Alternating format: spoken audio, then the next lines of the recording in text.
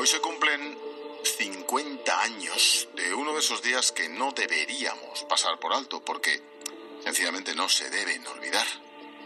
Se cumplen, como digo, 50 años del asesinato de José Antonio Pardines, el primero de los 853, se dice pronto, asesinatos de la banda terrorista ETA.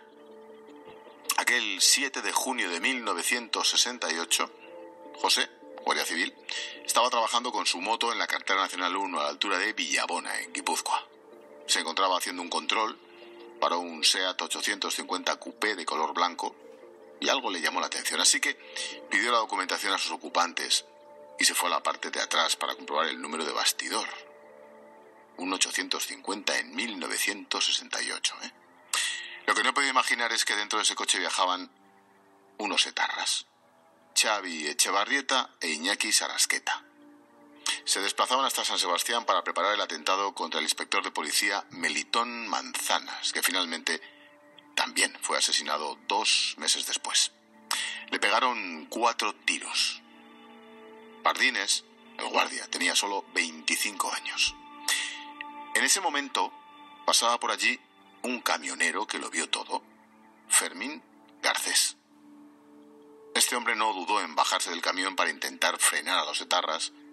De hecho, nos lo contó aquí, hace un par de años, en la tarde, poco antes de recibir la medalla al mérito de la Guardia Civil con distintivo rojo. No tuve ningún miedo ni pensé en nada más que cogerlo y hacerme con ellos. Pero no pude, porque cuando yo a Sarrasqueta la agarro del hombro, Echeverreta eh, me pone la pistola en la, en la cabeza sin decir ni palabra. Y entonces yo actué de esa forma, dejándolo al otro y haciendo culebrillas, fui tras de mi camión, que estaba a 10 metros, pero claro, al ponerme la pistola, pues tuve quejas. Hombre, estaría bueno. Don Fermín no pudo evitar que se escaparan, pero tras ese episodio decidió ingresar en la Guardia Civil, a pesar de los riesgos, claro. José Pardines era gallego de Malpica de Bergantiños, en La Coruña, donde estos días se han sucedido los homenajes. Nos vamos hasta allí. Héctor Teixeira es delegado de la Asociación Pro Guardia Civil en Galicia y está en los estudios de Cope Ferrol. Héctor, ¿qué tal? Buenas tardes. Eh, buenas tardes, Ángel, y, gracias por dedicar unos minutos de tu programa a recordar a la primera víctima de ETA, el Guardia Civil Pardines Arcay. Faltaría más. Mm, ahora más que nunca habría que seguir recordando aquellos asesinatos y desde el punto de vista social no lo, no, no lo hacemos con demasiada frecuencia, ¿no, Héctor? Eh, pues sí, eh, eh, por desgracia las víctimas de ETA siempre han sido las grandes olvidadas y especialmente la primera, ¿no? La primera víctima de ETA, pues mucha gente o casi ninguna, por decirlo así, recordaba su nombre. No, de hecho, mm, si uno mira en los archivos muchas veces te sale por Dios, que Dios me perdone, no estoy poniendo equiparaciones, ¿eh? Sale Melitón Manzanas, el policía, que también fue inmediatamente después, ¿no? Pero es verdad que de Pardines se habla muy poco, es verdad. Oye, ¿cómo, la gente que queréis a la Guardia Civil, lo imaginado, la familia, cuando ve que reciben homenajes los etarras y aquel asesino, de hecho, hace muy pocos días, ¿cómo se os queda el cuerpo? Bueno, eh, la ETA y la izquierda brechale siempre ha presentado la muerte de Echevarrieta como un, un ajusticiamiento, ¿no? manipulando vergonzosamente la, realidad. Lo cierto es que no fue una heroica lucha de un Gudari contra un enemigo prevenido, ¿no? fue un asesinato como la de un nazi cuando dispara sobre la nuca de un judío arrodillado como estaba Pardines eh, junto a una zanja. ¿no? Pues eso, eso es lo que, lo que hacían ellos y eso es lo que nos indigna, que no se recuerde a, a las víctimas como se merece. ¿Cómo fue lo de Letarra? Eh, ¿Cómo fue? Sí, eso que me has eh, contado ahora mismo que dice que se tergiversa, que dicen que fue una venganza, que fue un... ¿Cómo fue?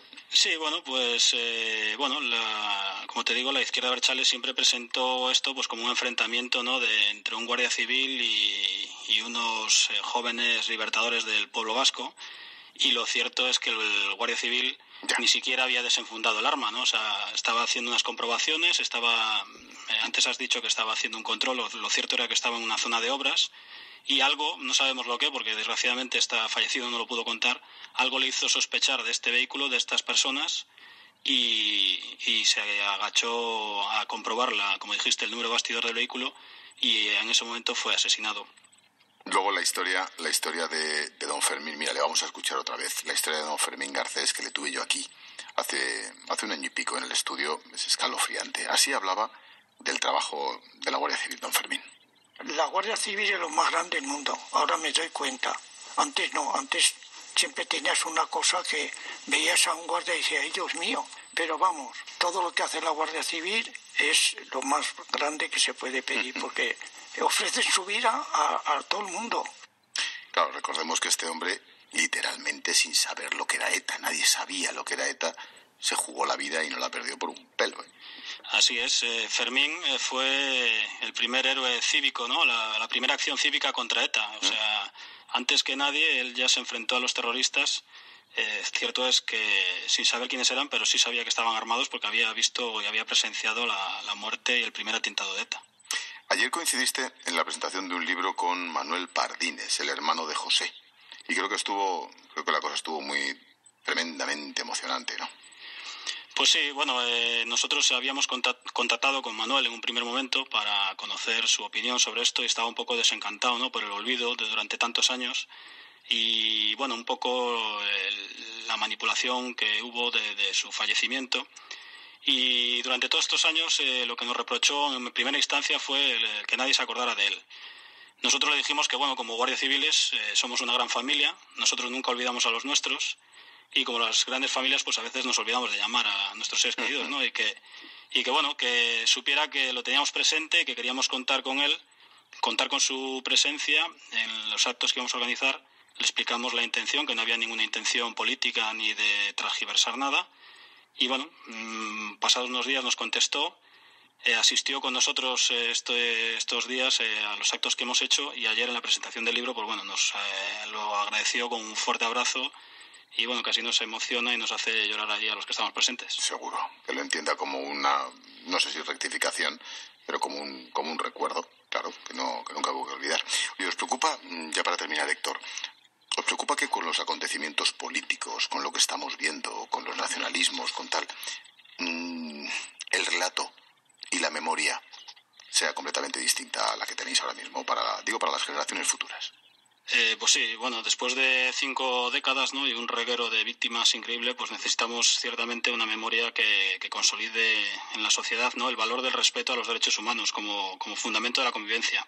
Derechos que no, que no pueden ser vulnerados en nombre de ninguna causa. Eso es lo que nosotros queremos y debemos eh, recordar. Héctor Teixeira, delegado de la Asociación Pro Guardia Civil en Galicia, Gracias por atendernos, por ir a estos estudios de Copeferrol y por recordar a gente tan buena como, como Pardines. Eh, gracias, Ángel. Mira, me, gustaría, si me dejas un segundo, pues eh, tener un recuerdo especial a todos aquellos que lucharon contra, contra ETA y en especial todo nuestro agradecimiento a todos aquellos guardias civiles que dieron lo mejor de sí mismos para poner fin a la banda terrorista ETA, sobre todo aquellos que pagaron con su vida. Muchas gracias, Héctor. Gracias a ti. Un abrazo, amigo.